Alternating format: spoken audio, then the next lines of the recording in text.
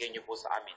Kayo pong mangusap, turuan niyo po kami, punuin niyo ng karunungan ng aming isip, at nawa ang karunungan ito magamit namin sa pagsunod sa iyong kalooban at sa matapat na pagsunod sa ginawa ng iyong anak na si Jesus na iligtas kami sa kasalanan at iligtas kami sa pag-uusig. Kayo pong maging tagapangaral, turuan niyo po kami, payapain niyo ang aming loob at nawa ang sandaling ito maging kapakipakinabang sa aming lahat at maluwalhati rin namin kayo. Be our speaker, lead us unto greater knowledge of you and how to read your word. Father, we ask you, in the name of your Son, Jesus, our Lord, our Savior, and our friend. Amen. Applying biblical teachings today. Yan po ang pamagat ng ating pag-aaral. Napakahalaga na unawain. Unang-una, dapat po nating uh, ma-appreciate, maunawa kung bakit that there are many verses that are ignored or unheeded today. Hindi lahat ng nakasulat sa Biblia ay sinunod sa lahat ng panahon ng lahat ng mga nananalig sa Diyos. Marami mga katuroan, lalong-lalo na nung Old Testament, ang noon mang panahon ni Jesus ay hindi na sinusunod yung iba o hindi lubos na sinusunod. At may dahilan, may konteksto. Tulad halimbawa ng ilang mga examples na ito na ating titingnan na noong araw, noong Old Testament ay sobrang higpit na sinunod, pero hindi na rin ngayon, lalong-lalo na sa mga Christian churches. Leviticus 20 verse 9, If you curse your father or mother, you will be put to death. Wala na tayong nababalitaan ngayon ng mga suwail na anak na pinapatay dahil suwail sila. Pero nung araw, ginagawa nila yon. Leviticus 20 verse 10, If a man commits adultery and with the wife of his neighbor, both the adulterer and the adulteress shall be put to death. Once more, hindi na rin yan buong-buong ini-implement. At nung panahon ng Panginoon, alam natin na mayroong babae who was caught in adultery, ang papatayin na lang nila yung babae, hindi na yung lalaki. So at the time of the Lord's ministry on earth, this commandment was still being partially obeyed but only kalahati. Yung babae na lang ang binabato hanggang mamatay, pwera yung lalaki. Whatever happened sa naging mga interpretation nila, yun ang kinahinatnan ng application. Leviticus 20:14, It isn't natural for a man to marry both a mother and her daughter, and so all three of them will be burned to death. Puro death sentences to. And the church does not implement this anymore, na yung merong isang lalaking nagkaroon ng relasyon sa mag-ina, silang tatlo ay susunugin. Leviticus 20, verses 15 to 16. If a man has sexual relations with an animal, he shall be put to death, and you shall kill the animal. If a woman approaches any animal and his sexual relations with her, you shall kill the woman and the animal. Sometimes it's very embarrassing to teach these lessons, lalo sa Sunday school for children. But these are parts of Scripture. Nung unang panahon, dapat nating uh, unawain na sobra ang mga sexual uh, um, rules dahil ang number one concern ng mga Israelites noon was genetic and racial purity na hindi na naging concern nila later on, hindi na masyado, pero nung araw, napakarami ng mga batas na may kinalaman sa sexual activity, sexual relationship, the sexual body parts of a human being, kasi yun ang concern nila noon na hindi naman laging naging ganoon. Leviticus 20:18, If you have sex with a woman during her monthly period, both you and the woman will be cut off from the people of Israel. Can you imagine this? Having uh, sexual relations with a woman who is menstruating means banishment. Matatanggalan ka ng citizenship, ititiwalag ka ng buong bayan, ano mangyayari sa iyo? You will be countryless. Leviticus 20:27, a man or a woman who is a medium or a wizard will be put to death. They shall be stoned to death. Pag ikaw ay manghuhula, pagka ikaw ay espiritista, ay babatuhin ka hanggang mamatay. Nung araw, one thing that is also not done anymore. Leviticus 21:9, If any of you priests has a daughter who disgraces you by serving as a temple prostitute, she must be burned to death. So the daughter of a priest, and the equivalent now is a pastor, so a pastor's daughter who commits adulterous activities will, will be burned to death. What church will do that now? Genesis 17, 12 to 14, Throughout your generations, every male among you shall be circumcised when he is eight days old. Any uncircumcised male who is not circumcised in the flesh of his foreskin shall be cut off from his people. So required din ang bawat batang lalaki pag walong araw na pagkasilang ay kailangang i-circumcise. Even the most strict Bible-based evangelical churches now, especially in the West, do not implement this anymore. Kasi kung i-implement mo yan, maraming mga pastors, maraming mga ministers, hindi pwede mag-minister kasi hindi sila circumcised. So pati yung mga very strict churches na lagi lang sinasabing biblical, authority of scripture, hindi rin nila yan ini-implement. Kaya, bakit? Dapat gano'n natin unawain. Kasi kung sa pagdaan ng panahon, marami mga dating katuruan ang hindi na ini-implement ng church mismo, ng Israelites mismo nung panahon ni Jesus, dapat din natin malaman sa panahon natin ngayon, gaano karami ang dapat talagang i-implement at gaano karami yung dahil sa mga nagbabagong panahon ay nagkakaroon na ng mga bagong application at basa.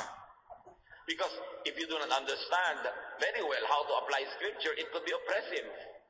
You could be bound by laws that were made 3,000 years ago or 2,000 years ago when the Israelites themselves began to change their attitude about some laws when their culture and the environment and the context changed. Leviticus 20:13, it is disgusting for men to have sex with another, and those who do will be put to death, just as they deserve. So who puts to death men who commit this kind of sexual acts? Even the strictest churches don't kill anything or anybody anymore because of these things. Leviticus 21, 17 to 19. No descendant of yours can ever serve as my priest if he is blind or lame, if his face is disfigured, if one leg is shorter than the other, if either a foot or a hand is crippled. So you see the repercussions of these verses if you will apply this today. Nobody who is handicapped, nobody whose physical body is less than perfect can serve as leader of the church or as even praise and worship leader. Kaya hindi rin yun ina-apply. Mali ba na hindi i-apply yun lahat? O acceptable ba as the church is practicing? Kasi kung minsan ang nakakalito lang mga kapatid, in some congregations and in some churches, may mga favorite sila na Old Testament laws na ini-implement. Magkamatayan na i-implement nila, pero meron din namang hindi. At yun ang nakakalito. Sino ang namimili kung alin ang pwede at alin ang hindi? Kung malaki ang question mark sa ating isip, paano ngayon yan? Dami palang ganong laws. Covered ba pa tayo nun or not? We shall place everything under the authority and lordship of Jesus. And we shall go to that very soon. Meanwhile, Leviticus 24, 16, One who blasphemes the name of the Lord shall be put to death. The whole congregation shall stone the blasphemer. So pati yung mga magbablaspheme sa karangalan ng pangalan ng Panginoon, binabato hanggang mamatay. Kaya yung mga Israelites noon, part of their worship activity, wala silang ginawa kundi pumatay na pumatay na pumatay ng napakaraming tao. Can you imagine what happened to their personality? And what happens to people who are less than perfect? They are forced to hide, they are forced to go underground because they'll be killed. Leviticus 19:19 Breed your livestock animals only with animals of the same kind, and don't plant two kinds of seed in the same field, or wear clothes made of different kinds of material. Again, the priests of Israel were very concerned with purity, purity of the genes. Kaya pinagbabawal nila ang mga hayop na hindi pagkakalahi ay paglahiin, which is of course genetically impossible to do anyway. But in those days, they did not have a complete knowledge of genetic science, so pinagbabawal nila. Yung ginagawa ngayon sa Batangas at Cavite na may mga tanim na nyog, kopra, o na kinokopra nila, kape, tapos may papaya, at merong pinya sa ilalim, hindi pwede yon sa Old Testament laws kasi bawal magtanim na ng dalawang uri ng halaman sa isang bukid. Pero ngayon ginagawa na natin yon. Intercropping ang tinatawag or mixed cropping. At bawal din magsuot ng damit na ang tela ay pinaghalong dalawang uri ng material. So kung merong kang cotton and wool sa iyong tela, masama na yan sa Old Testament. Yung mga mga terrycotton, yung mga etc. etc. polyester, hindi yan pwedeng isuot noon, pero sinusuot na ngayon. Are you less holy? Because you are wearing it. Napakahalaga na unawain natin kung kailan pwedeng hindi nasundin ang aling verse. At tinuruan tayo ni Jesus kung papaano yung principle nun. We must understand that while the verses became part of the religious heritage of Israel, Israel had a unique and a very specific historical and cultural context. Lahat ng kanilang mga batas at mga kaugalian ay may kinalaman sa preservation of their race, preservation of their territory or real estate, or preservation of their racial purity. But when the Lord was born, many things had changed. For instance, ang daming hindi pinapakain sa mga Israelites, baka magka-peste-peste sila, magka-eltor-eltor, magkasakit-sakit. But when the Lord was born and the Lord had already, the promise that the Lord would be born had already been fulfilled, niluwagan yung mga dietary laws. Hindi kasi marapat na kung sinabi sa scripture ng unang panahon, i-apply mo ngayon, kahit na ang nagiging bunga ay pagdurusa, paghihirap, kalupitan, at kasamaan ng loob. So how do we apply verses today? What to apply and what not? Pag ba may anak kayo ngayon suwail, sumagot-sagot sa inyo, babatuhin nyo hanggang mamatay? O gagamit kayo ng bagong technology, babarilin nyo? Pwede bang barilin o bato lang dapat? These are questions that are very practical. Pwede ba kayo umupo sa bus? O pwede ba kayo umupo sa mga silyang inuupan nyo ngayon? Kasi meron ding teaching sa Leviticus, hindi ka pwedeng umupo sa naupuan na ng babaeng nagme-menstruate. If a woman who is having her monthly period sits on a chair or any place, if you sat on it after she leaves that spot, you'd be unclean. So, sino ngayon na mauupo sa mga reception areas, sa airplane, paano malaman mo na may umupo doon na babaeng panahon ng kanyang monthly period? So, i-apply ba yon or not? Alin ang i-apply at alin ang hindi? How to read and apply the Bible? Unang-una mga kapatid, observe. Know the context. Know the background. Halimbawa, may mga utos, kill all your neighbors, lalo sa Old Testament. Eh kasi naman, ang context, war. They are at war. Eh pero ngayon, naiinis ka sa kapitbahay mo, maghahanap ka ng verse how to deal with them, tapos nakalagay, kill your neighbors, papatay mo ngayon sila. Obviously, wrong application. Because the context that gave birth to the command or to the teaching does not exist in your context now. Yung mga katotohanan nila noon, hindi mo katotohanan ngayon. So know the legal setting. Halimbawa, bakit ang istri-stricto ng Old Testament sa mga babae, lalo sa sexual activity? Bakit dapat sobra silang faithful sa husband and one husband? Pero bakit ang mga husbands, lalo yung patriarchs, maraming asawa? Pwede pang marami. You must never forget that one of the main interests of Israel during the early days of its nationhood was domination of our neighbors. So kailangan marami ang population nila, kailangan hindi maubusan ng tao yung army. Kaya ang daming utos, go and multiply, go and multiply, go and multiply, kasi ang konti nila. Baka sila matalo ng mga neighbor, mabura ang lahi nila. Pero ngayon na ang dami, dami, dami, dami ng tao, wala ka nang maipakain. Kung mo yung Bible na nakalagay, go and multiply, i-apply mo ngayon, kabaliktaran ang magiging bunga. Hindi victory, kundi defeat. Hindi prosperity, kundi poverty. Hindi happiness, kundi hunger. So hindi basta verse, i-apply mo. Titingnan mo, paano in-apply nung araw at bakit? At kung hindi yun totoo ngayon, yung kapaligiran na nangyayari noon sa iyo, ngayon ay hindi totoo nung araw, hindi ka obligadong i-apply yung verse. Ngayon, yung mga babae, bakit sobrang higpit sa kanila ng Old Testament? Because it was a legal issue. It was not even a spiritual issue. It was not a moral issue. It was a legal issue. Because in the Old Testament times, women were not individuals. They were properties. They were treated as properties of men. Kaya the daughter is under the authority of the father. Property siya ng tatay. Kaya kailangan may mga dowry-dowry. No? Pagka papakasalan siya, ibibigay mo sa magulang. Ngayon, pag ikakasal na siya, ililipat yung authority sa husband. Property naman siya ng husband niya. Tingnan ninyo ang 10th commandment sa Leviticus 20, eh, Exodus 20, 17. You shall not covet your neighbor's house. Property, no? You shall not covet your neighbor's wife. You shall not covet your neighbor's male or female slave, or ox, or donkey, or anything that belongs to your neighbor. Hindi ba kayo nagtataka kung bakit kabarkada ng wife ang donkey, ang ox, pati kudkura ng nyog, palo-palo, batya, bahay, lupa, kabayo, kasi lahat yon properties.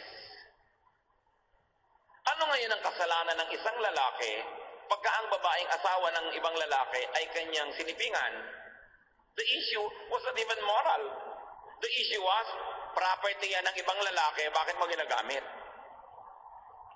Kaya ang istri-istay ko sa babae nun, which thankfully, the Lord released the women from nung panahon niya. Kaya kita-kita niyo ang gawa ng Panginoon? Yung si Martha nakaupo sa kanyang paanan kasama ng mga lalaki, nag-aaral. Tapos sabi nung kapatid na si Mary pala, yung kapatid niya si Martha nasa kusina. At sabi kay Lord, Lord, sabihin mo nga sa babaeng niya na si Mary, sumama sa akin sa kusina where women like us belong. Bakit nandiyan siya kasama ng mga lalaki? Ano, magte-train siya ng leadership, discipleship? Ba't siya nandyan? Ano sabi ni Lord? Mary has chosen the better portion. It will not be taken away from her. The Lord freed women from bondage to the kitchen. It doesn't mean that you should not cook anymore or be responsible. Pero binigyan niya ng bagong kahulugan na pagiging tao ng isang babae. Kaya yung babaeng dinudugo, hinayaan niya humipo sa kanya. Bawal yon. Gumaling. Yung babaeng nagdala ng pabango, hinayaan niya ring siya ay ministeran. At napintasan siya ng maraming mga kalalakihan noon. At mula Galilee hanggang Jerusalem, ang kasakasama ng Panginoon, mga kababaihan, na yun ang mga babaeng yan ang matatapang at naiwang kasama niya hanggang siya ipako sa krus, hanggang nagtakbuhan yung mga lalaki at iniwan siya. Marami si Lord na pinalaya mula doon sa mga gapos ng Old Testament laws. At ang babae, pinalaya niya sa pagiging property. Ginawa niyang isang tao, isang individual. So, titingnan natin. Cultural setting. Bakit ganun yung mga batas at kautosan? What were the values that were prevalent at that time? Halimbawa, ang pagbubuhat ng banga, pagpapatong ng banga sa ulo o sa balikat at pagigib ng tubig ay trabaho ng mga babae. So pag lalaki ka, nagbuhat ka ng banga, out of place ka, mabalilibak ka, pagtatawanan ka. Pag lalaki ka na nagbubuhat ng banga, kasi pambabae yon. Pero nakita nyo, nung magpe-prepare ng Lord's Supper, they were preparing for the Passover meal. Sabi ni Lord sa kanyang mga alagad na maghahanap ng lugar, pagpasok niyo sa bayan, sundan niyo ang isang lalaking may sunong-sunong na banga. At kung saan siya pumunta, doon kayo maghahanda ng lugar para sa ating uh, Passover meal. Here, a man who is not usually allowed to do this kind of thing, to carry a pot on his head or on his shoulder, was the one chosen by Jesus himself to guide the disciples. That's a statement, a social statement. Ang mga bata na baliwala nung araw, hindi pinapahalagahan, kaya nung naglalapitan sa Panginoon ay pinagalitan ng mga disciple yung mga ina dahil yung mga bata lumalapit kay Lord. Ano sabi ni Lord? Let the children come to me. For the kingdom of heaven belong to such as this. So yung mga batang baliwala, binigyan niya ng halaga. Yung mga may sakit, binigyan niya ng halaga, hinihipo niya. Pati patay na bawal hibuin, hinipo niya. Tinawid ni Lord ang lahat ng bawal para magmahal sa tulad niyo at tulad ko. Para magpagaling. Para magbigay ng halaga sa hindi pinapahalagahan ng lipunan. Yung mga religious leaders, ma-invite mo sa mga event ng mga makasalanan? No way. But Jesus was always there present. That's why his religious critics called him a glutton and a drunkard, a friend of tax collectors and sinners. Doon siya nakikiumpok. Kung may dalawang mesa, isang mesa ng conservatives at isang mesa ng mga makasalanan, kung nandito si Lord ngayon sa palagay niyo, saan siya uupo? Kanino siya makikihalubilo? Kaya hindi siya naibigan ng mga religious leaders of his time. He democratized heaven. Inilapit niya ang Diyos sa tao kung kailan nung araw ay nasa gitna ng Diyos at tao ang mga religious leaders. Hindi ka pwedeng lumapit sa Diyos na hindi dadaan sa kanila. Binuwag ng Panginoon yung pader na yon and He made heaven available for all. Kaya marami sa mga laws na yon, marapat suriin. What would Jesus do if He was in our midst? Mahalaga kasi yung context. Halimbawa, oil. Maraming teaching sa Bible, anoint with oil, you anoint my head with oil, etc. Ngayon, pag merong may sakit, may mga churches na ipagpe-pray yung may sakit, pupunasan ng konting langis sa noo, na parang akala mo yung isang magical formula o ritual. But the context of the oil was different. Oil was used as medicine, as disinfectant. In other words, may practical use yung oil, hindi magical. Kaya sabi sa James 5.14, Are any among you sick? They should call for the elders of the church and have them pray over them, anointing them with oil in the name of the Lord. But the anointing of the oil is not just a ceremony. Kung may sugat, lilinisin nila, lalagyan nila ng oil. Kung may infection, i-disinfect. Kung mayroong discomfort, mamasahihin with oil because of the medical efficacy of oil that they believed in. Hindi siya magical. It was a medical procedure coupled with prayer. So ngayon, pag merong may sakit na lumigid yung elders, nilagyan nila ng oil, ina-expect gagaling na dahil pinag-pray, tapos nagtataka sila ba't wala nangyayari. Kasi ngayon, ang equivalent ng oil na yun, eh, dalhin mo sa ospital, ipalinis mo yung sugat, ipa-opera mo yung dapat operahan, tapos kambalan mo ng panalangin. Kasi yun na ngayon yung equivalent ng ministration of oil. Kaya mahirap kung basta kukuha ka ng verse nung araw, ika-apply mo sa ngayon. Dapat dadaan yan sa translation. And many things are lost in translation because of the distance of time and place and culture. 1 Corinthians 7.12 To the rest I say,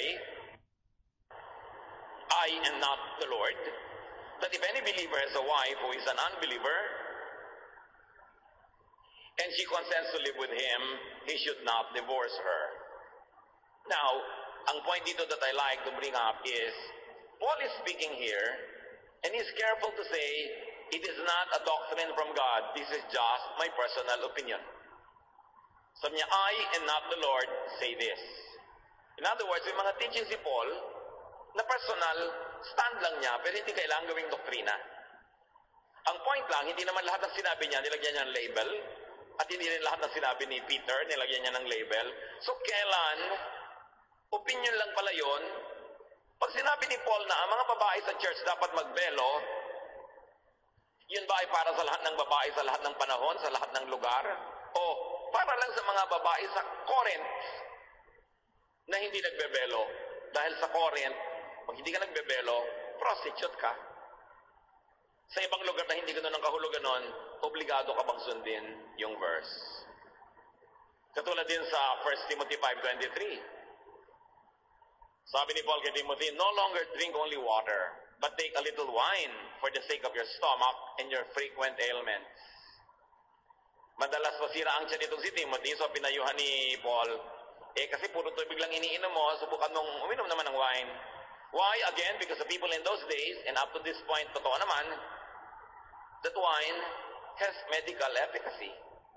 Nakaka-disinfect, nakakatulong sa digestion. So, yun ang payo niya. Paano ko ang nanay mo, masakit ang tiyan, cancer na pala, tapos naghanap ka sa verse sa Bible kung anong gagawin mo sa nanay mo, at nung binuksan mo yung pages, tumigil sa page ito, nung ituro mo gano'n, uy, 1 Timothy 5.23, nanay, uminom kayo ng wine. Yan ang sabi ng Word of God. So do you think matino yung application mo or not?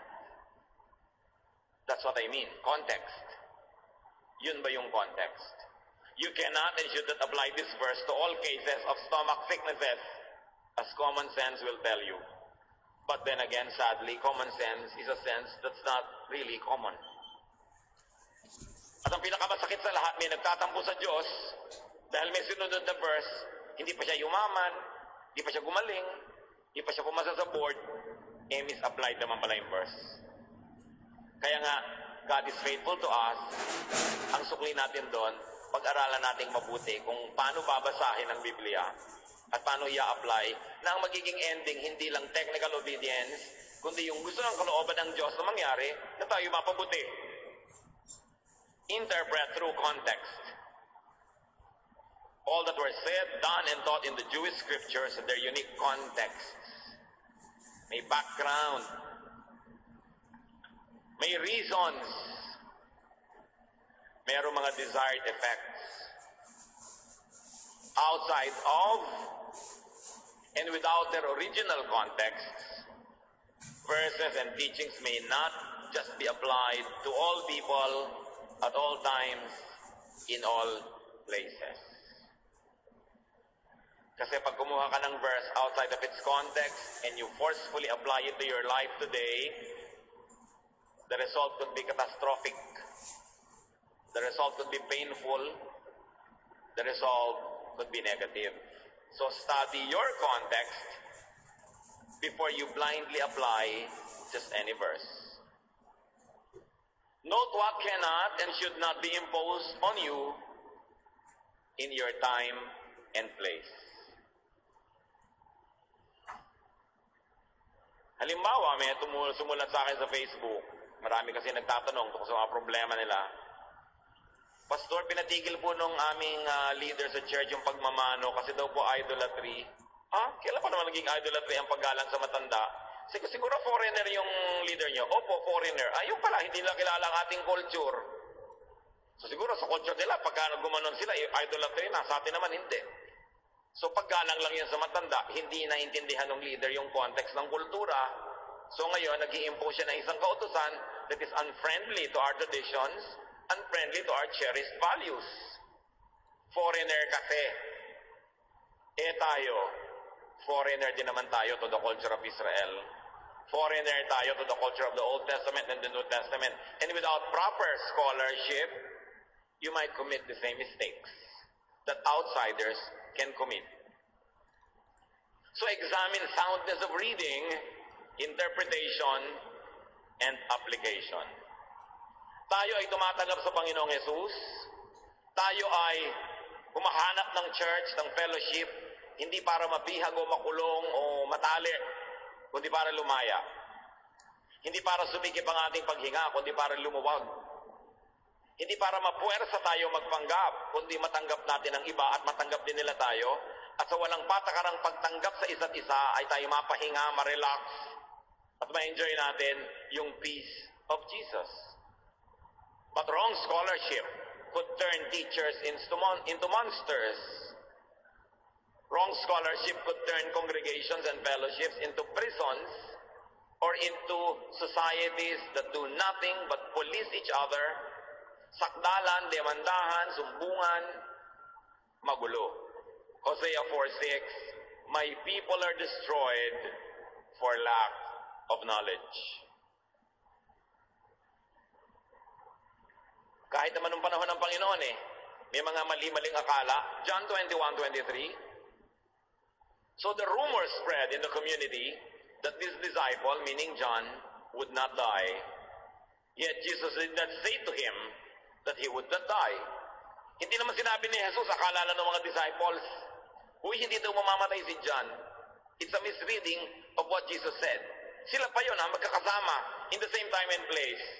Tayo pa kaya? Hindi magkaroon ng possible misreading. Babasahin halimbawa yung Bible when God said, pero ang nagsabi naman ng word na yon, si David. God ba si David? May binasa kang psalm, sabi ni David, God, destroy all my enemies around me, destroy them like dust. Tapos yung nagsabi, sabi, dust, we read from the holy words of God. Pero hindi naman God si David. Sabi mo, these are the words of David.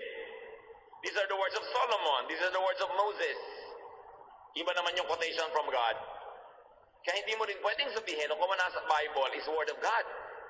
Kasi meron din yung words of Satan. Nung sabi nung akas kay Eve, you will not die. So, tatawa, tatawagin mo ba yun, the word of God? Obviously, it was the word of Satan. So, pinipili mo sa Bible, sino ang may sabi? Uy, sabi ng verse na ito, kailangan daw, ganito gawin mo. Sino ang may sabi? Bakit sinabi? Sino ang kausap? Ikaw ba yung kausap? At kung hindi ikaw, yung bang konteksto mo ngayon, kamukha ng konteksto ng kausap para pwede mong i-apply sa iyo yung sabi sa kanya, dapat may ganong filters. 2 Peter 3.16 Sabi ni Pedro, Paul wrote to you according to the wisdom given him. There are some things in them hard to understand, which the ignorant and unstable twist to their own destruction as they do the other scriptures. Sabi ni Pedro, alam niyo maraming itinuro si Paul na mahirap maintindihan. At yung mga mangmang naman, ang ginawa nila doon sa mga hindi maintindihan, nagrunong-rurungan sila, pinilipit nila, binaluktot nila, titinuro pa rin nila, eh, ang tinuro na nila balupaluktot, pinipilipit. At sabi, hindi lang sa mga sinabi ni Paul, ha? Ganyan din ang ginagawa nila sa maraming ibang parts of Scripture. So there is a possibility of a very wrong reading that leads to a very wrong interpretation and a very wrong application, which when applied to people's lives, make their life harder instead of easier. That makes them more devilish than saintly. Kaya ang sabi ni Lord sa mga Pharisees sa kanyang panahon, You walk over land and sea, you travel over land and sea to win a single convert. And when he has become one, you make him twice as much a son of hell as you are. Niya, sayang naman ang mga pagmimisyon nyo, sayang ang mga trabaho nyo, hirap na hirap kayo na mag-win ng convert, pero pag na-convert nyo na, mas masama pa sila sa inyo, mas malala pa, dahil ang inihahawa nyo sa kanila, wrong reading, wrong application, cruelty to others, self-righteousness, judgmentalism. But you make them twice as much a son of hell as you are. Harsh words, but true. So interpret through the lens and filter of Jesus, which is nothing but love. What do we mean, mga kapatid? Tanong siguro na iba. O so anong gagawin ko ngayon sa mga Old Testament teachings? Tulad ng una natin binanggit lahat, ang dami-dami nun, hindi na pala ina-apply. Anong gagawin ko sa mga New Testament teachings na nasulat nung si Jesus ay bumalik na sa langit? Ang dami-dami din nun. Alin doon ang i-apply, alin ang hindi. Interpret through the lens and filter of Jesus, which is love. Kasi itinanong na sa kanya yung tanong na yan noon. Matthew 22, 36 to 39. Teacher, which commandment in the law is the greatest? Mahalagang tanong. Ang dami nga namang laws, so alin ang uunahin kung hindi mo magawa lahat? He said to him, You shall love the Lord your God with all your heart and with all your soul and with all your mind. This is the greatest and first commandment. And the second is like it. You shall love your neighbor as yourself. In one single stroke, the Lord taught the people what to do with all the commandments of the Bible to filter all of them through His commandment of love. So pag meron kang gustong sundin na verse, dahil nakasulat, sasalain mo muna sa ibinigay ni Lord na salaan, which is love. And ask yourself, is it not loving? Halimbawa, o batang suwail, sumagot-sagot sa magulang, sabi ng verse, batuhin to death. You ask yourself, kind ba naman bato to death? The answer is no. Kaya hindi na natin ginagawa ngayon. Kind ba na sunugin itong nagkasala ng adultery? Kahit adultery pa nga, ang sagot pa rin ay hindi. Kind ba na batuhin ang babae caught in adultery? Kahit caught in the act, ang sagot pa rin ni Jesus, hindi. Kaya hindi niya ipinabato. Hindi niya kinukonsinti ang kasalanan, pero ine-expose niya yung mas malaking kasalanan sa tingin niya. Yung judgmentalism, yung cruelty, yung unkindness.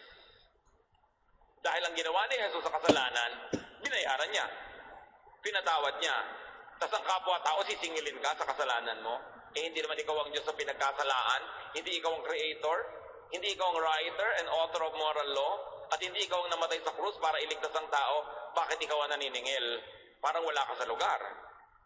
Kaya merong kwento si Jesus na yung isang katulog na ang dami-daming utang pinatawad ng amo, at matawag sa patawad, sinasakal niya yung isang kapwa katulog na may maliit na utang sa kanya dahil sinisingil niya.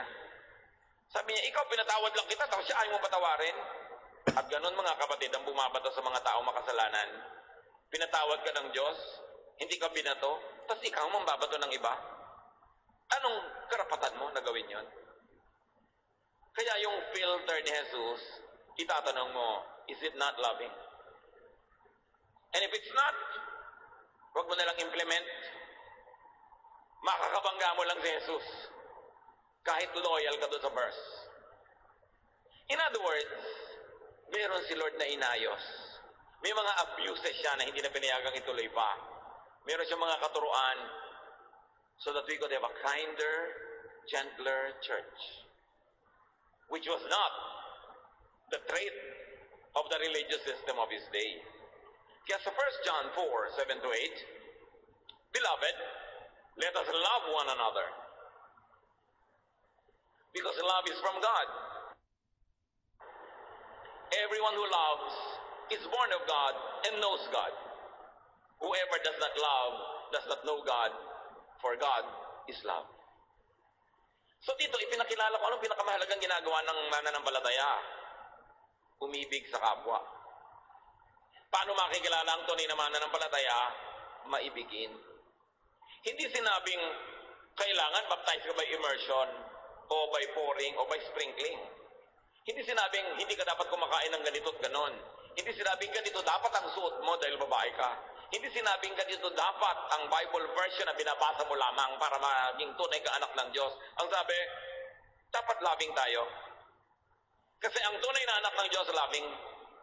Ngayon, kung hindi ka loving, kahit sa ulo mo lahat ang verses ng Bible, kahit tama ang costume mo araw-araw, kahit may Bible version kang paborito na yun lang sa tingin mo ang tama, kung hindi ka loving, sabi ng 1 John 4, 7 and 8, you do not know God. Ganun kasimple. Ang tunay na dapat na bunga ng pagkakakilala sa Diyos at pagkakaligtas sa atin ni Jesus ay tayo'y nagiging maibigin. Which follows that you will have to filter many teachings that are not kind when applied today to people who never share the same context as the original recipients. Si Paul, napakahusay na teacher, and up to a certain point, napaka-stricto rin. Sabi niya sa 1 Corinthians 13, 1 to 2, If I speak in the tongues of mortals and of angels, but do not have love, I am a noisy gong or a clanging cymbal.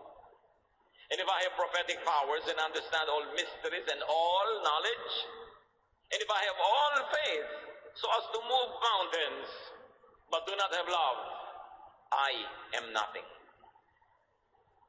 Sabi ni Paul, kahit ano pang hinahangaan ninyo ng mga spiritual gifts ng leaders, kahit nasa aking lahat, tapos hindi ako maibigin, wala pa rin kwenta yon.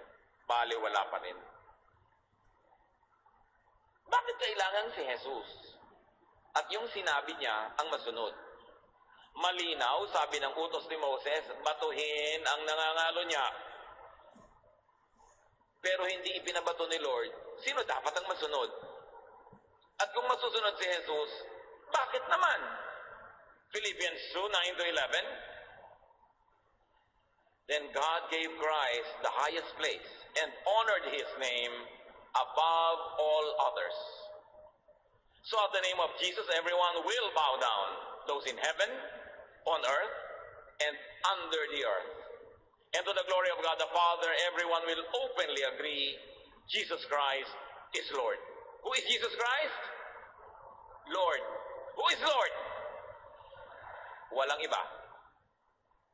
Hindi tayo dapat malito kung sinong dapat sundin, kung ang loving teaching ni Jesus ay may conflict with unloving teachings, dapat alam nyo kung alin ang dapat masunod. Jesus is Lord over history. Jesus is Lord over dated and outdated traditions. So leave unloving traditions to history and the museum as Jesus very clearly and powerfully did.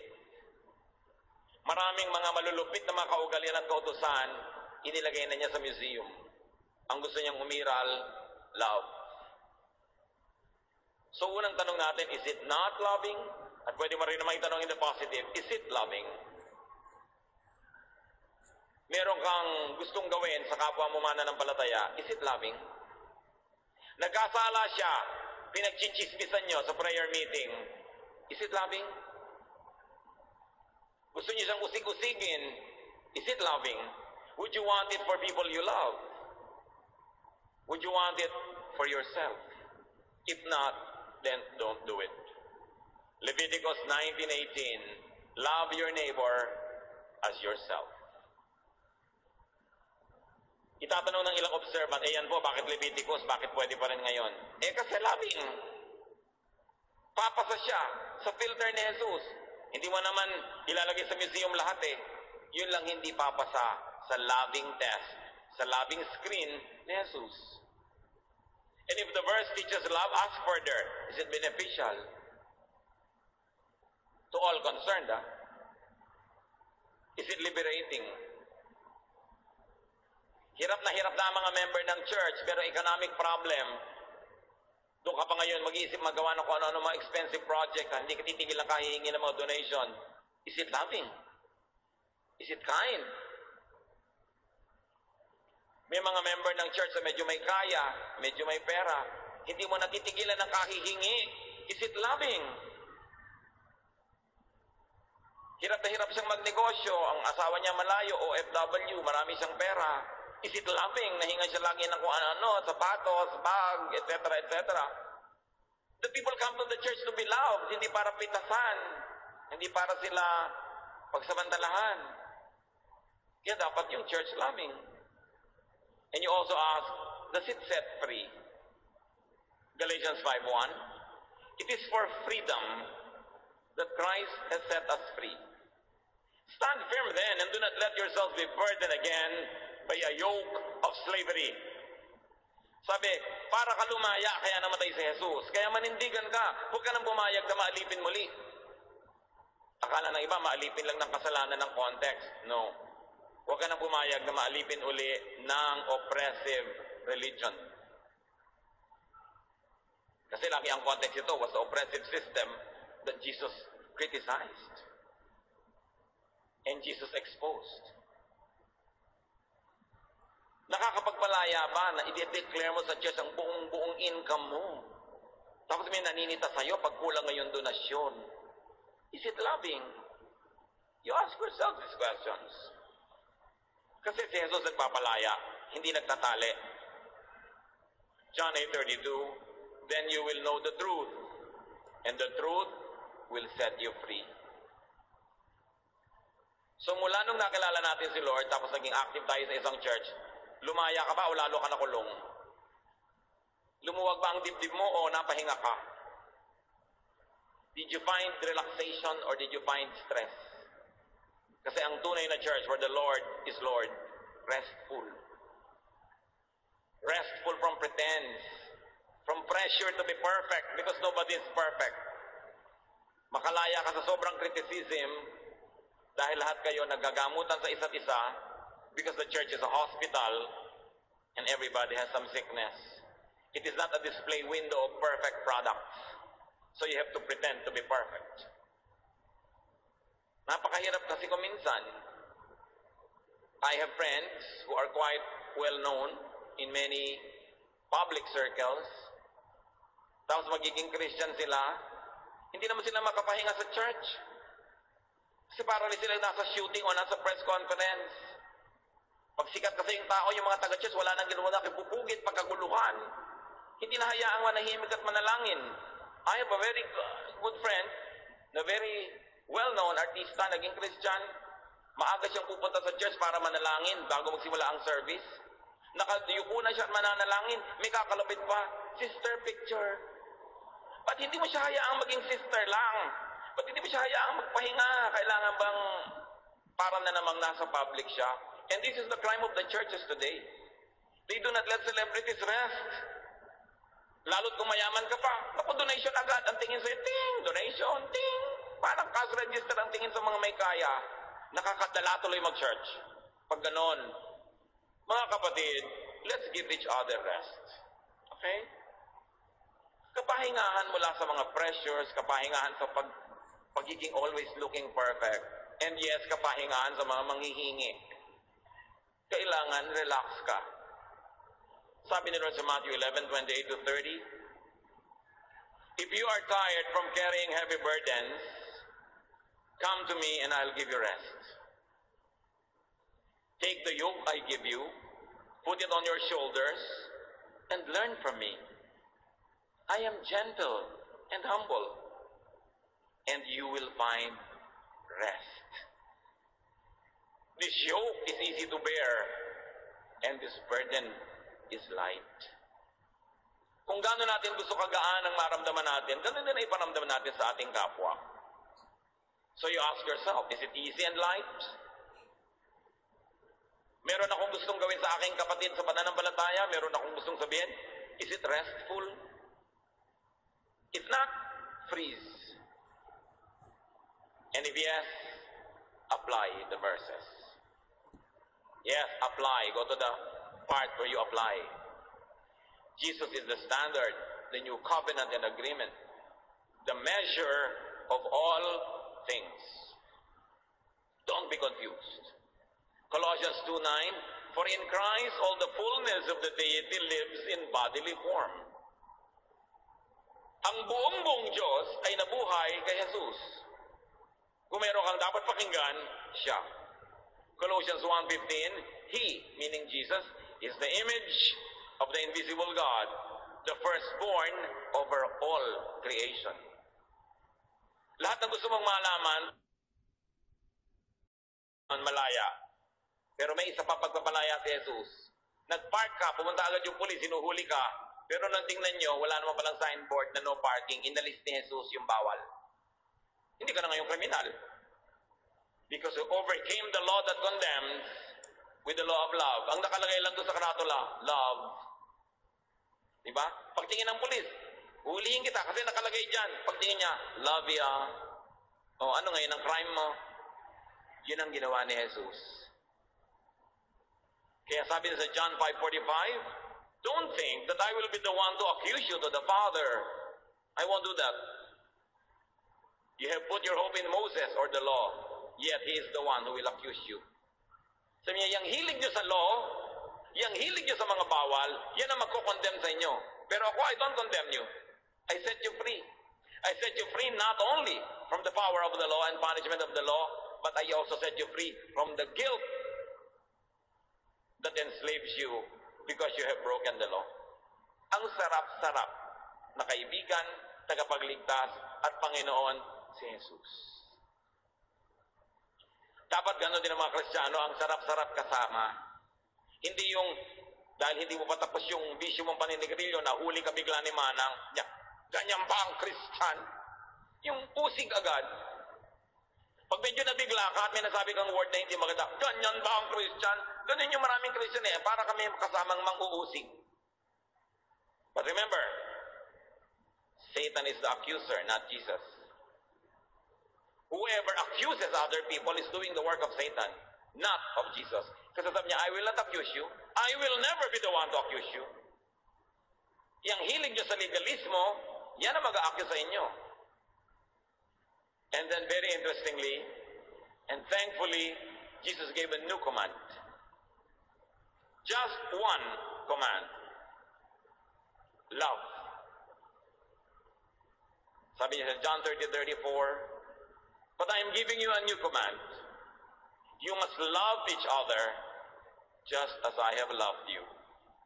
So sa isang command na yan, parang tinakpan niya ang lahat ng command before Him and after Him all the commands that are not loving. Pero yung loving, tuloy pa rin ha. Yun lang, hindi loving ang napawalang bisa. Kaya sabi ni John the Baptist, who understood it, John 3.30, He must become greater, I must become less. You know, John represents the Old Testament and he was the last prophet of the Old Testament. At sabi niya, Jesus must increase. I and the whole system I represent must decrease. Alam ba natin ang kahulugan nun? That it is Jesus who must increase. Not the Pharisees, not even the prophets, not Moses. Jesus must increase. Because Jesus is above Old Testament prophets and New Testament teachers, like John who admitted it, and like everyone else. Pero sasabihin niyo, paano yung 2 Timothy 3.16? All scripture is God-breathed and is useful for teaching, rebuking, correcting, and training in righteousness. Yes. But first, you must define what scripture means. Scripture means Old Testament. It does not refer to the New. Because when 2 Timothy was written as a letter, wala pang New Testament nun. So pag binabanggit doon ang scripture, ang tinutukoy, Old Testament. Ganon din si Jesus. Pag sinabi niyang, you know what the scriptures say? He means the Old Testament. At alam na natin ang ginawa ni Lord sa Old Testament rules that are not loving. Overwritten na ng love niya. So yes, all scripture still important after passing the Jesus test, the Jesus standard, the Jesus filter. All scripture is profitable to apply to one's life. So ngayon, mahalaga pa rin lahat, pero sasalain na, sasalaan ni Jesus. You ask yourself, is it loving? Is it kind? Is it good? And when the answer is yes, then live by it. And if the answer is no, sabi ni Lord, ay, kasali yan ni Moses who will condemn you. Better come to me because I will not condemn you. Pagpasado sa test ni Jesus, may kita